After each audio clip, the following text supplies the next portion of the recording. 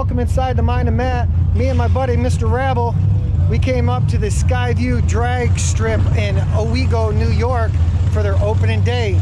We got permission to chase some cars, so we're gonna chase some drag cars with some FPV drones. If you wanna watch, make sure you watch the rest of this video.